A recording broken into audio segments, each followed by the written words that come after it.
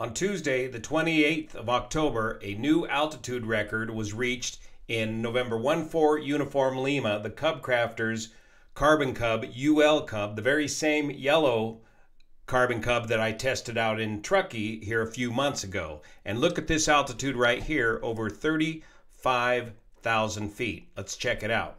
My name's Juan Brown. You're watching the Blancolirio channel, and this video is brought to you like all the others, viewers like you that support this channel here on Patreon. Thank you for your support.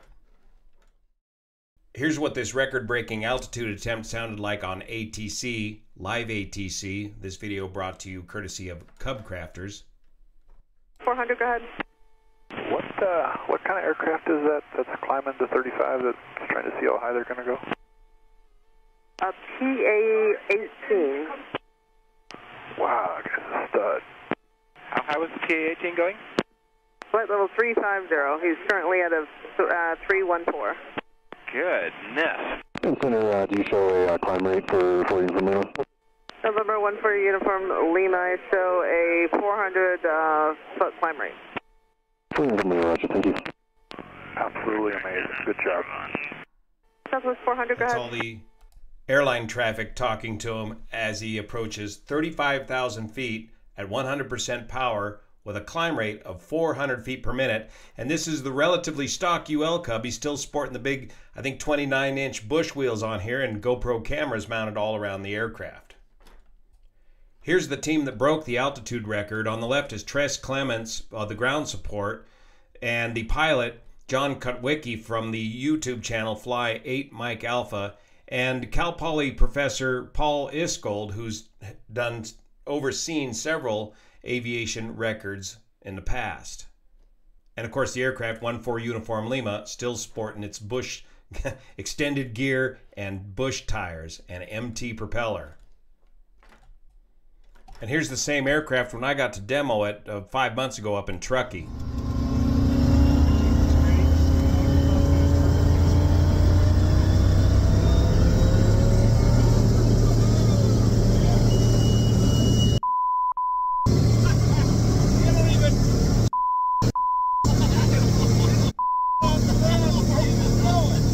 Just launched off the ground with that Rotax 916IS engine. And last summer, I had the privilege of flying November 2 for Uniform Lima, the orange Carbon Cub UL, powered by the Rotax 916IS, all the way out to Oshkosh and back. And it's this combination of airframe and engine that makes a, an altitude record like this possible in a stock Carbon Cub UL. The whole airplane, empty weight, only weighs about 900 pounds. And the Rotax 916IS is a turbocharged engine capable of 160 horsepower at max power and can maintain that 160 horsepower all the way up to about mm, 15 to 17,000 feet before you begin to lose the horsepower on that engine.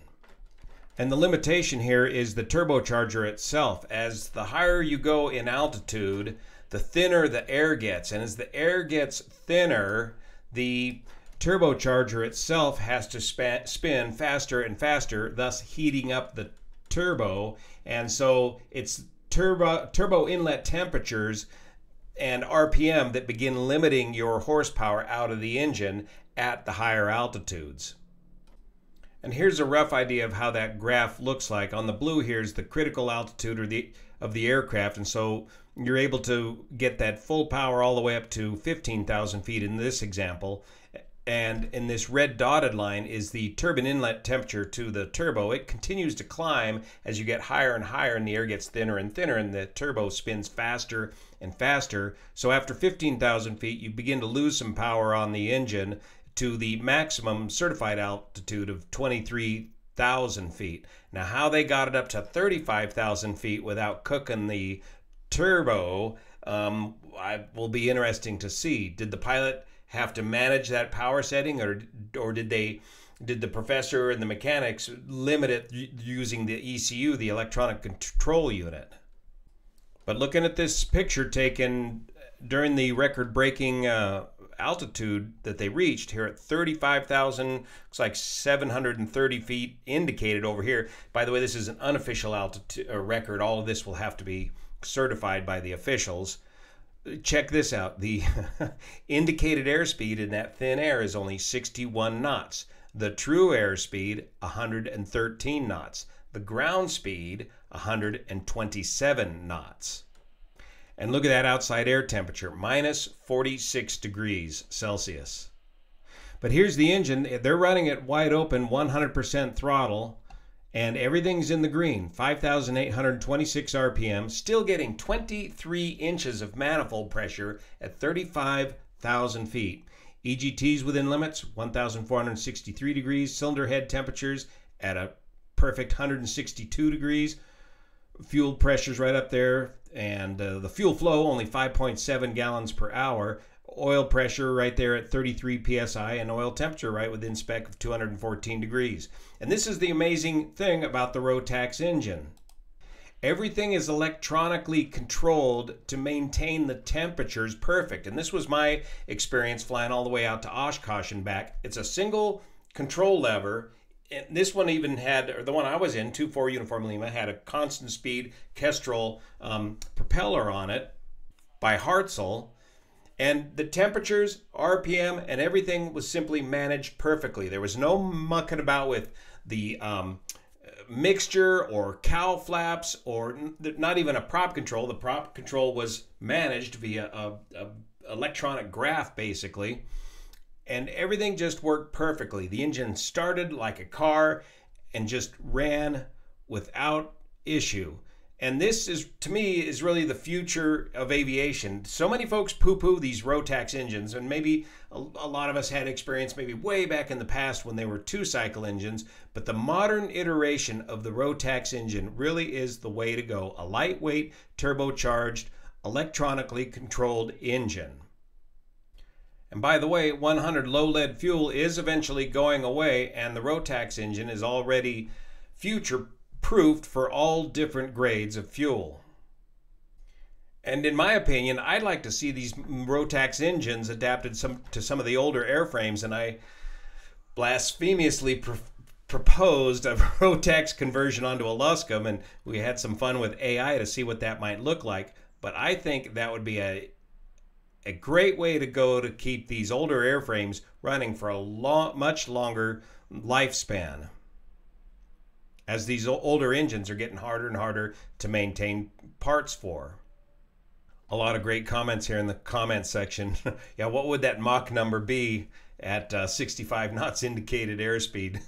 Carbon Cub, say Mach number. Currently Mach 0.19. What do you need? Maintain Mach 0.2 or less for spacing. And that brings up a couple other fun facts about getting this record is that first off they had to get special permission from the FAA to use the airspace up there at that altitude because above 290 you're in RVSM airspace and this aircraft is not certified for RVSM so they had to get special permission and a special block of airspace in order to do that. And of course the pilot had to deal with a full oxygen mask. He's completely unpressurized. Now Back in the day, when I was a T 37 instructor pilot for the Air Force, we flew routinely up to three times a day, up to 25,000 feet and back in unpressurized T 37s, sucking on a hose on the oxygen mask. And it's very fatiguing. So, quite a few physiological things that they had to work out with the pilot flying at that high altitude. I saw in one of the pictures he was wearing a oximeter on his finger, smart idea to keep track of his oxygen levels as he was climbing up there make sure that that oxygen continued to flow correctly. And of course, the other consideration is dealing with the extreme cold at that altitude. Now, the UL Cub does have a cabin heater, but it's not that great of a heater. And it looks like John was uh, well equipped with some climbing type gear to help keep him warm. And of course, you had the it was about 10 or so in the morning, 10 or 11 in the morning. So you had a lot of good sunlight coming through the plexiglass, giving you some greenhouse effect warming inside the Carbon Cub. By the way, John also wore a parachute just in case, but he hand flew the thing all the way up and back and said the aircraft performed just fine. So good job, team, taking an aircraft that can land and take off in just 200 feet all the way up to over 37,000 feet. Looks like 37,609 feet. Thank you so much for your support of this channel, especially the folks over on Patreon that make this content possible. Aviation is fun. See you here.